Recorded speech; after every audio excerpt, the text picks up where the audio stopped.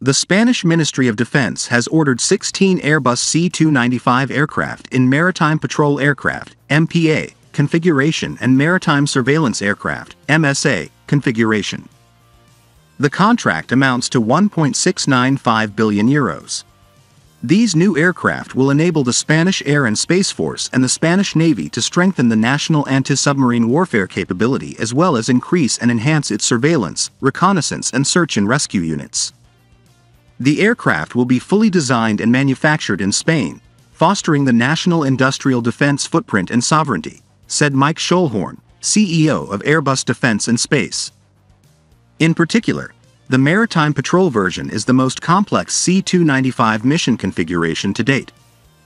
A major development project that will bring together the latest technologies to provide an operational advantage to our customer.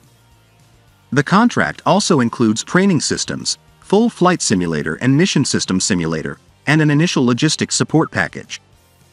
The C-295 MPA will conduct the missions performed by the P-3 Orion fleet, which were retired at the end of 2022. It will be equipped to carry out anti-submarine, anti-surface warfare and intelligence, surveillance and reconnaissance missions. Likewise, it will be able to carry armaments such as torpedoes and other types of weapon systems.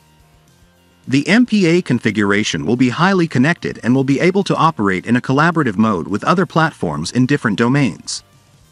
The aircraft can become a flying command and control center, providing the Spanish armed forces with the versatility to carry out a wide range of missions. The C-295 MSA is the natural replacement for the CN-235 Vigma aircraft fleet, which have been in service with the Spanish Air and Space Force since 2008.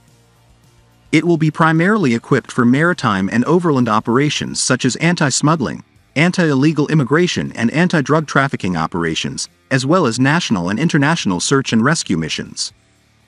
There will be a high degree of synergy between both configurations.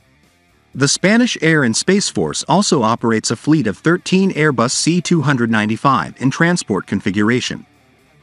The aircraft will be assembled at Airbus military facilities in Seville,